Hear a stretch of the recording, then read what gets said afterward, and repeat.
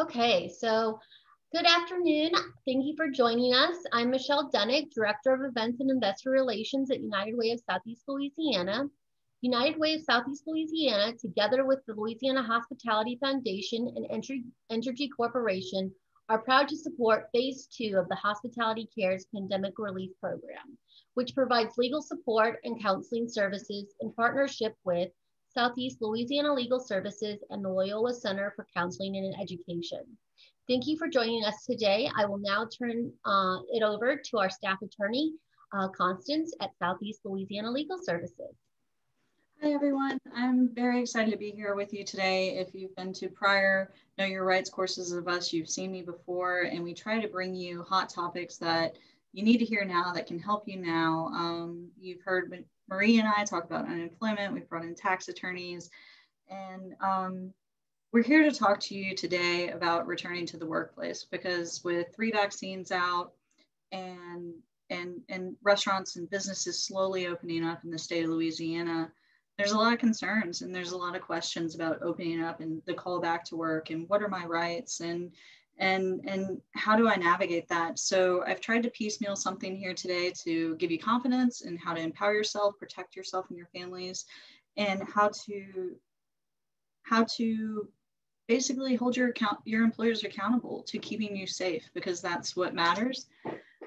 So i'm going to screen share right now and i have a little powerpoint we're going to go through Great. Um, so as Michelle said, I'm with Southeast Louisiana Legal Services. We're free legal aid to the greater New Orleans area and surrounding parishes. If you Google us, you can find our service area. Um, for those that are economically eligible, we provide different services. I'm particularly in the employment and benefits unit. Um, and I deal with employment matters. And right now, there's a lot of unemployment matters that are COVID related that we particularly deal with. And I service the hospitality industry in general, and I'm partnered with United Way and the Hospitality Foundation. So um, let's, I suppose we'll get right into it. Now that vaccine distribution is ramping up, people are being inoculated, hospi- hospitality workers are being called back to work. And some have questions about that. So um, we'll go right into it. And I think a, a general mindset to understand is that while there are many suggested policies and suggested guidelines and, and, and ideas on how to best open up, there are a few mandates and, and, and there's a difference there. You know, mandates are hard and fast rules that the restaurants have to apply to them and then guidelines, they're suggestive, um, but they can assist you when you're advocating for your own rights and safety. So we'll go into it. Um, we're going to go over several agencies today and, and don't let it overwhelm you. I know if you Google employee rights during COVID 19, you get five times more than this, but I, I, find these are the most useful to you and the, the ones that are best to serve you. Um, we're particularly going to talk about OSHA, the Occupational Safety and Health Administration, and we're also going to talk about the Louisiana um, State Fire Marshal, and then we're going to go into if you need to file a complaint, how to file a complaint. So um, as of March 3rd, the state is in a modified phase three per Governor Edwards. They've released that. And if you go to the governor's website listed below, it's my source for this, um, they have a lot of, they have everything lined out basically. If you're in a restaurant, if you're in a cafe, if you're in a bar, if you're in a nightclub, this is your occupancy, this is the expectation. These are the mandatory things they must do, right? Um, and this is where you kind of get your, you know, as we like to say, black letter law, right? Um, who can be open under what terms?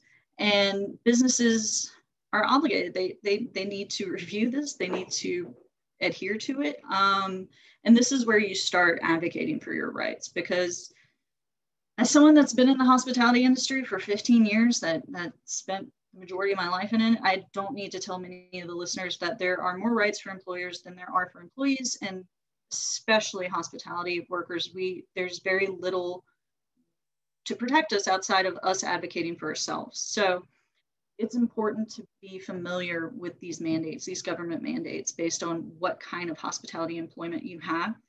Um, so a particular mandate that I, when I talk with my friends in the hospitality industry right now is like the public must wear face mask when a business or employees must wear face mask when a business is open and they must practice social distancing and all members of the public must wear a mask or face clothing clothing when they are in public and interacting with members outside of their households. So so if and there's an exception there with the hospitality industry unless they are actively eating or drinking guests should be wearing that face mask and your employer should be enforcing that mandate. And that's that's a big part of not spreading the virus. So as for those that work in the city of new orleans i feel like many of the viewers that are in hospitality um, work within the city of new orleans we're entering a modified phase three tomorrow. Um, nolaready.gov has excellent um, information on what's required of your business if you're being called back to work, um, what your business has to do. Um, and then Open Safety, Open Safely has public links with the United States Fire Marshal. And those are good sources for you if you're within the city of New Orleans to find out what your employer is required to do for you. Um, and that's a good place to start. A unique thing that Mayor Cantrell did with the city of New Orleans is that all non-essential businesses, and those are hospitality related businesses and organizations in the city of New Orleans must register with the Louisiana State Fire Marshal. Um, and I tried to register to see the rigmarole of it, but I don't own a business, so I couldn't fully get through it. But registered businesses, um, they receive sector specific guidelines and they have to post those guidelines. And you're entitled to see those guidelines, right? They have to post them and make them available. So it's a great way to know how the state fire marshal and the governor is holding your restaurant accountable and what they need to do to keep you safe. That's the starting place of knowing your rights in the workplace. And um, if you're outside the city, I would encourage you to ask your employer if they have registered. They don't have to, but there's really no reason not to. And there's no reason to not at least build those guidelines from the state fire marshal into their particular unique policies that protect you. So, all right, we're I'm having calls with clients and and people are being called back to the workplace and that opens a floodgates a floodgate of questions and I hope you hold your questions to the end. I'll do my best to answer them for you. I'll also provide my email address if you're not comfortable giving personal information because some of this does um, some of these questions are medical related. If you want to email me and ask me your question in private, I'll do my best to filter through them. Um, hospitality workers being called back to the workplace. So, in general, if you're being called back to work and you're on some state benefit plan, especially a regular benefit plan, which I'm going to go into further, unemployment insurance, not PUA, we'll go into PUA. Um, you you're responsible to go back to work. You risk losing your benefits, you risk losing your job. And based on OSHA, it's important to know that we're considered in the hospitality, I still say we, um, in the hospitality industry, we're, we're considered moderate exposure risk. Um, only higher than that is high exposure risk, which is say a medical transport truck, and then very high exposure risk medical workers. I, I, don't need to tell hospitality workers you are with the general public and they're often eating and drinking without mask and you know social social distancing is hard, especially now that we are opening occupancy up and and and raising the number of people that can be in the building.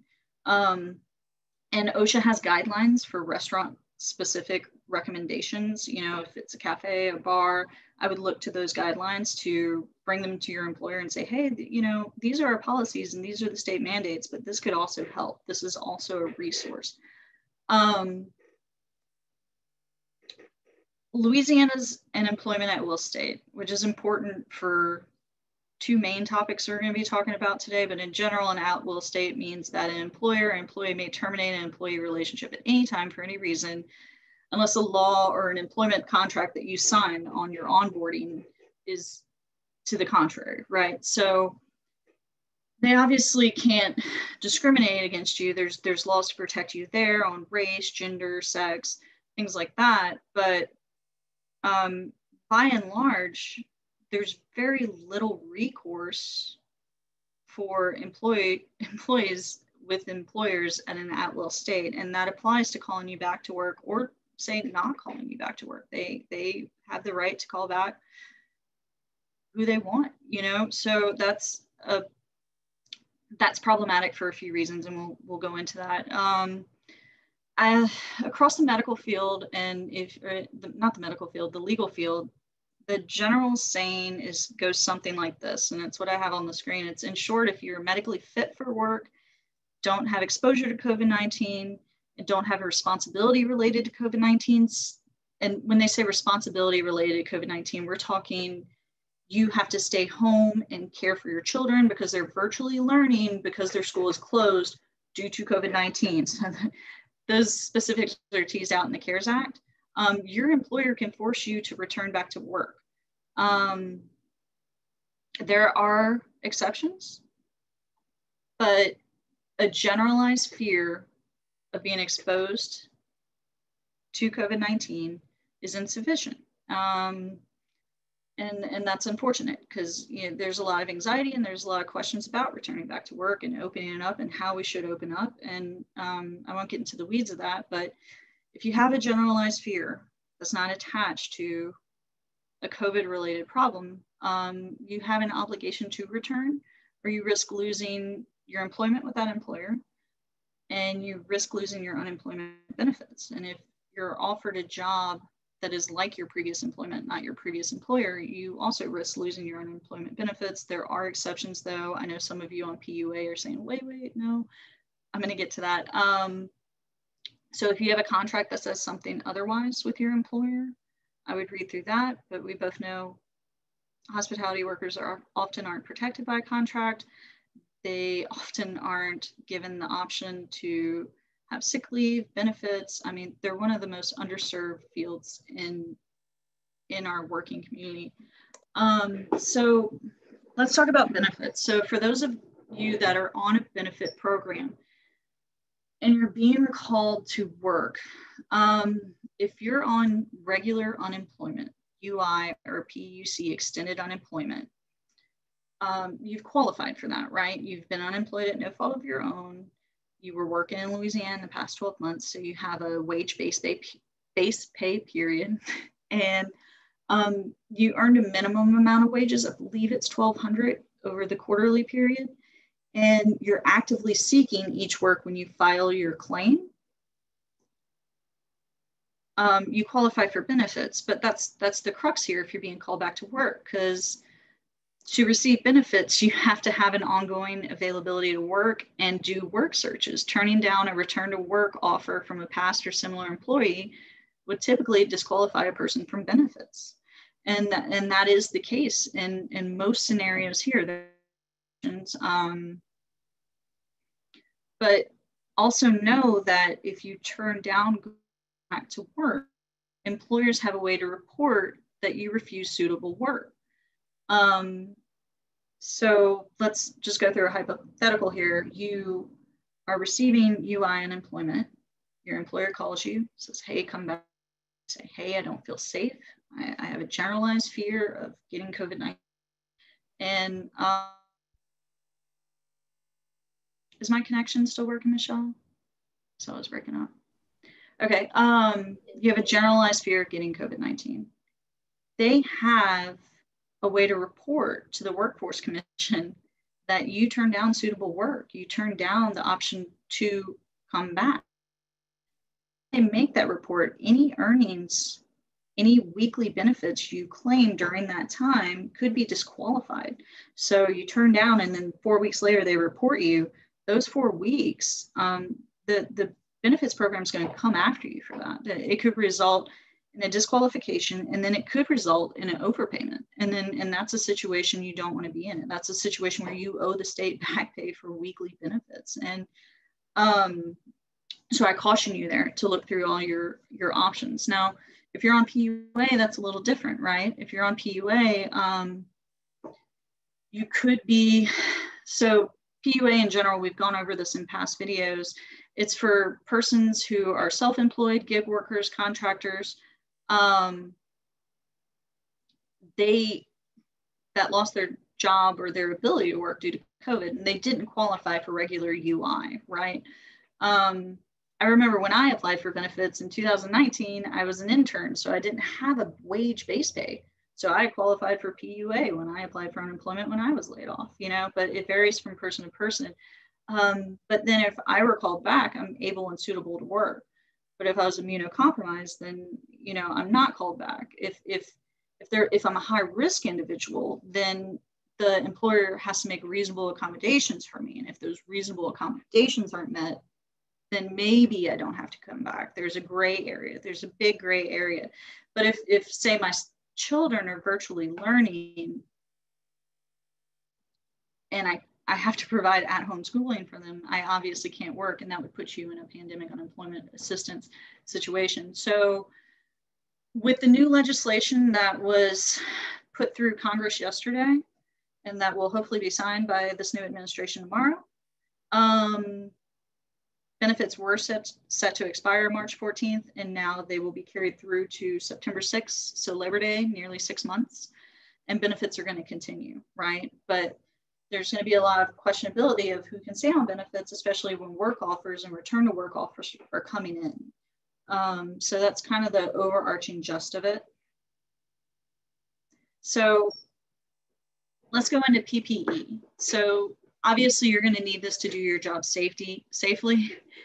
And according to the CDC, according to OSHA, face masks, social distancing, and avoiding crowds is the best way for hospitality workers to protect themselves. But it's also kind of laughable when we're starting to pack restaurants. It's like, how do you expect me to social distance? So you want to make sure that you protect yourself first and then look to your employer to protect you, right? So um, reasonable accommodations by your employer would include face masks. Restaurants should already have gloves. You know, if you want to further insulate your own protection, face shields, things like that, you can go to the CDC website and they have employment specific recommendations on what you should wear. Um, make sure that when you're going back to work, you hold your employer accountable and that your employer is giving you what you need. Ask for a copy and an explanation of their COVID 19 policies, what they're doing to protect you. Most restaurants already have some. I've seen um, on HotSchedules with corporate restaurants where you have to log in and say, I don't have COVID symptoms, I haven't been exposed, blah, blah, blah. You have to go through that before you can clock in for your shift, before you can show up in the restaurant physically. So ask them what they're doing, their policies are, that align with state mandates and then align with suggested guidelines from Louisiana Health Department, the CDC, um, and the Louisiana State um, Fire Chief. So ask them what they're doing, hold them accountable. They're, they have an obligation under OSHA to, they have a duty of care to provide um, an environment that's free from hazard that's likely to cause death or physical injury or great bodily harm. And uh, you know this is a global pandemic. They are required to protect you from it. So ask for what you need to be safe within reason. Ask for reasonable accommodations. So this is the biggest question and this is the question we'll see in the news for days to come and, and this is one of those times where i say a different attorney may give you different advice right um, and different attorneys are kind of going through this right now and they're going over it. So, can employers demand co- uh, workers get a COVID 19 vaccine? So, it's an ethical and a legal question. So, there's three vaccines available right now to us, right?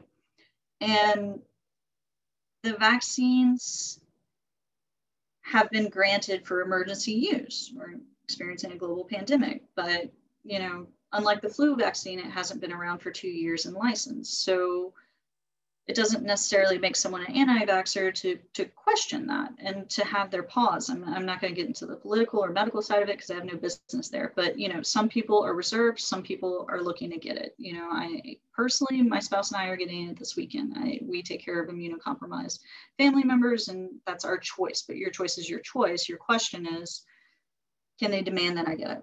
And um, it's probably yes, is the answer, um, because we're in an at will state. So I, I'm going to tangle this out, but until there's more cases on it and and more people stand up and say hey i don't want to get it right now or i don't want to work with people who don't want to get it and it's litigated in the courts there's not a lot for employers to go off of right but they can hold on to that at will state caveat that kind of gives them the right to decide who they employ right so three days ago the first suit was filed in new mexico when a county requested that like firefighters and other personnel get the vaccine um, and we're going to have to wait and see how that plays out. I have a, I, I have a pretty big hunch that you're going to see this on the news for months to come. It's it's going to be a big deal. Um, you know, according to the legal community across the board, the, the answer is probably maybe um, because it's not unheard of for an employer to request that someone says has the flu vaccine, right? But the flu vaccine has been around for quite some time and it's been licensed. So um, you get in that weird hairy position where you know legal professors have this one opinion but then other legal persons see it as unless there's a medical reason that you can't get it similar to people who couldn't get the flu vaccine but could you know provide something that said hey my doctor said i'll have an adverse medical reaction to getting this vaccine and must be accommodated or i have a religious reason under civil rights to not get this vaccine um, they have a feeling that it's going to be required. Um, and I, I hate answering a question probably maybe, but that is the case here with the vaccine. Um, and it will play out to come, but I think what you'll see is, and what we've already seen is employers incentivizing people to get it, which is perfectly legal. And it's perfectly legal for them to ask you if you have gotten it. And it's going to be almost a hiring chip, right? It's, it's so it'll it'll be interesting to see this play out in the courts. Um, so to move forward, let's say you don't read you you're being called back to work. You've heard from other employees that it's not safe, or you're back at work and you don't feel safe. You you don't feel safe for a number amount of reasons, right? Um, you start your starting places to start with your employer and their policies and hold them to their policies. And then if you have an HR person, go there and start internally. Um, and then you bring your problem locally if it's not being resolved. And by locally, I mean if you're in the city of New Orleans, particularly, NOLA 311 is very interested in hearing this because they've already registered with the, with the state and they should already have their policies posted. So if they're not following those, then you pretty cut and dry thing. But if you're not local, and hypothetical here you i've been working in this restaurant for five years i know what 100% occupancy looks like they said 75 this they are packing this place. That's that's something i would call the state fire marshal non-emergency line for make an anonymous report and hey it's saturday nights nobody's wearing masks this place is packed and you know employees aren't being cared for. Um, i would i would encourage that. So but if you don't feel like you're still receiving results because agencies are overwhelmed right now. No one, we're all tired of hearing like unprecedented times, everyone's overwhelmed, but that is the case. And if you still don't feel like your concern and your safety is being validated, the next person and the next agency I'd go to is a federal agency and it's OSHA. And while OSHA doesn't have mandates, it does have guidelines and it has very specific recommended guidelines. And if you want to file a complaint with OSHA, you have every right to if you're um, being put in a hazardous situation, if you're not being provided PPE or if PPE is not being enforced, um, you can file a complaint with OSHA and it's very easy to do. Um, and I would start with saying, these are my state mandates. These are how they're not being respected. And then these are your OSHA policies recommended for a bar type situation. And this is how grossly negligent they're being with these recommendations. They they they aren't even considering them you know and i would i would put in those things. So if you have questions or you want reference or to build your case um i would go to their website. I have it listed below. And all this is going to be recorded so don't i should have said this sooner. Don't scramble to write it down. It'll, it'll be reshared through united way southeast louisiana. So how do i file a complaint with osha? Um, like I said, start with state mandates and then go through employment OSHA-based guidelines in your complaint. Like cite your cite your problems directly. And you can do it online, you can do it by fax or email or telephone. So what happens? So one, you can file anonymously or you can give your name and ask that OSHA keep you anonymous and they, they have to keep you anonymous. Um, but if you've been a whistleblower and you've talked to your employer and you've had the state fire marshal come and or call at least, then you know that nobody's dumb here. We know who you are. Don't be discouraged from filing a further complaint because there's whistleblower safety. You have a right to be protected. You have a right to advocate for your rights and be protected and not be um, retaliated against by your employer, right? So OSHA will telephone the employer, they'll describe the complaint, and then the employee, the employer has five days to respond with how they're remedying the complaint. Um, but if they don't respond or if they don't give an adequate response, OSHA will conduct an inspection. So what I want to say here, in addition to if they retaliate in any way, if they cut your hours, if they start mistreating you at work, obviously keep a paper record, a paper trail as best you can, um, and then file a whistleblower complaint. If you're fired, for sure file a whistleblower complaint. Um, but to bring this into a bigger scope, um, we in the hospitality industry know that we don't have a lot of sick leave benefits, care rights as employees. Like the laws are built to protect employers.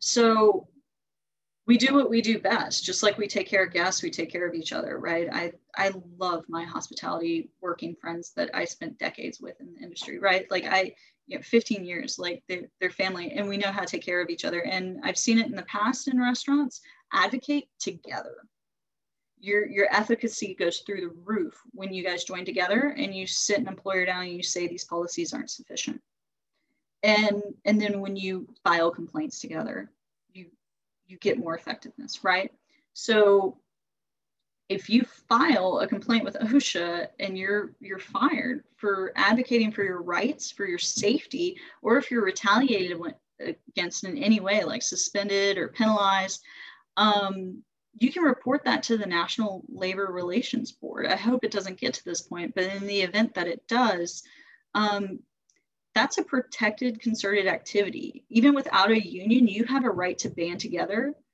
as employees to ask for better circumstances. So I hope you don't have to get on a federal level and get to these agencies, but if you do, you're more likely to get, you know, what we like to call act right from an employer to, to protect yourselves, you know, and we hope that's the case. We hope that employees adhere to their policies and they build their policies off the guidelines. But, you know, there's also concerns that businesses have been closed for so long, eager to open up and pack a restaurant. And that's just not how it should work. So the Equal Employment Opportunity Commission is another agency I wanted to go through. And they enforce um, genetic information non-discrimination, the American Disabilities Act, and, and, and your general overarching federal rights as an employee, right? If you, so they have, if you go to their website, if you Google them, they have an excellent Q&A webpage. I was tempted to put it on here, but it's miles long, but um, they ask you, can an employer take your temperature? And normally that would be a medical examination. It wouldn't be allowed, but under circumstances, it is allowed they, you know, employer ask you if you've had the vaccine, has said yes, and they've decided. So if you have questions like, um, can an employer ask you if you have been tested for COVID or been exposed, or if you have it? Yes.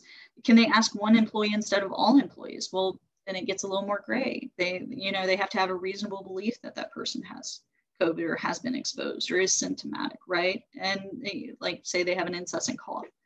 Um, so they kind of tease out those details and those little fine questions you might have. I didn't want to go through them all today because I wanted to save time for the Q&A.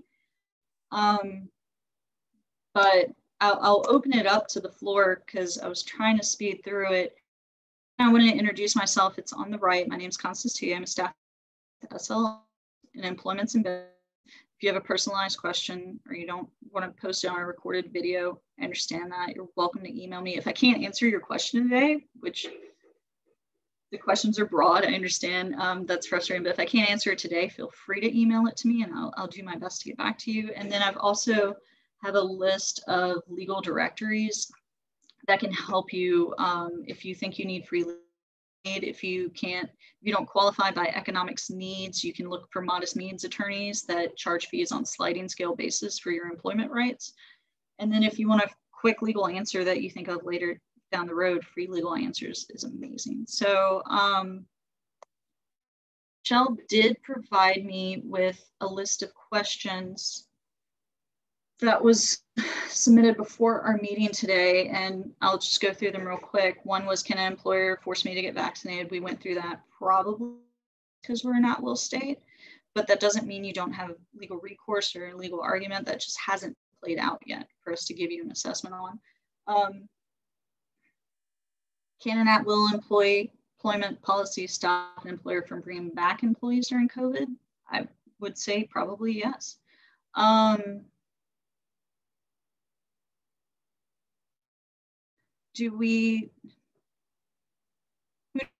if our rights aren't being met, I think we kind of went through that. You start with your supervisors, then localities, state, federal, OSHA.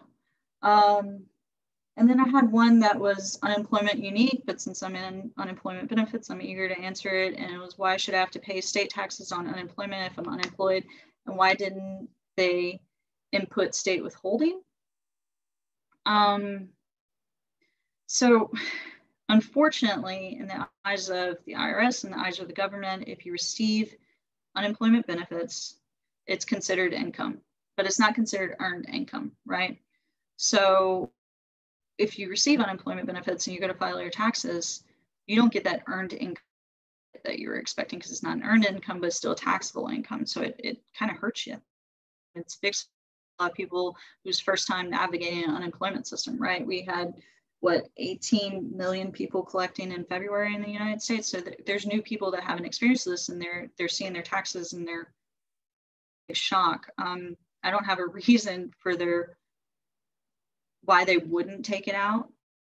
I do know that you have the option of taking out federal taxes or leaving them and paying them later. Um,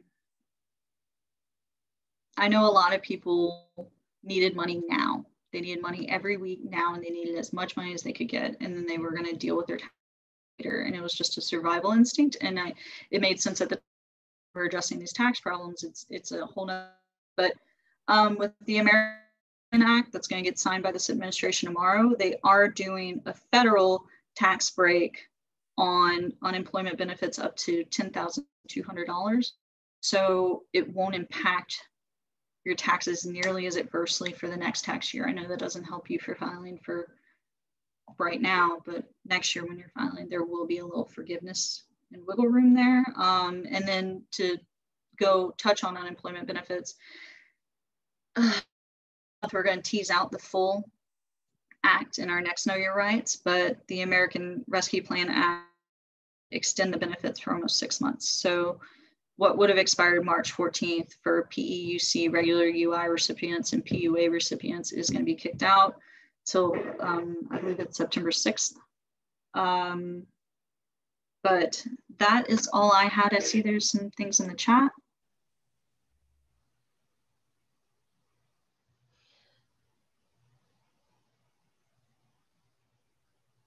Um, what if you have asthma and they want you to repay unemployment? If it depends on what unemployment plan you were under. If you were under regular UI, there's a possibility you maybe should have been under PUA because you have a health reason for not working. But unless it's considered a qualifying medical reason, um, returning to work would be required with reasonable accommodations. But then again, if you're a bartender and you have to face people, you can't really bartend from home, so they can't give you a, a reasonable accommodation. Um, if you if you're facing a repayment or an overpayment to I, I can't see the name, Ms. Klussman, um, if you're facing an overpayment and you're on regular UI, I would I would encourage you to reach out to legal aid. Um, and ask that question because that needs to be teased out more and and it depends on the disqualification they gave you and why they gave you a disqualification. Um, because that's kind of the crux of it and without knowing that that's where you go from there. But know that even if you have an overpayment um, and you lose on the disqualification you can apply for overpayment waiver. If you prove that there wasn't fault you didn't mis- misrepresent it was no fault of your own and um, it would be a against good conscience for the judge to ask that money back of you. So you can apply for an overpayment waiver questionnaire and form. Um, and Ms. Klessman, I'm going to reshare that slide for you.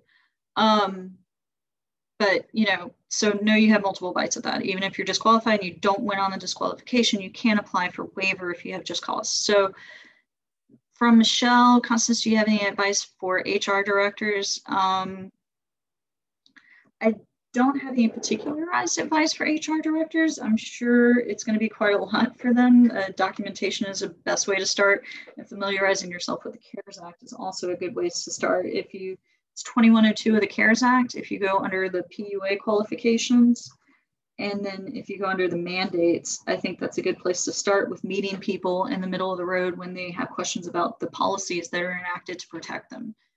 Um, but I see you just posted my email. I don't know if anyone else has any questions. Um, I'm happy to answer them or if it's efficient. Normally we run over, so I went I went a little fast today in fear that we'd run over. That's um having to figure out how to put myself back on uh, camera.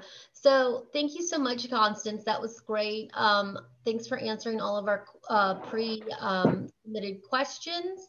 Um, as um, uh, Constance has put her contact information up here. If you have any other questions, you can give her, send her an email or give her a call.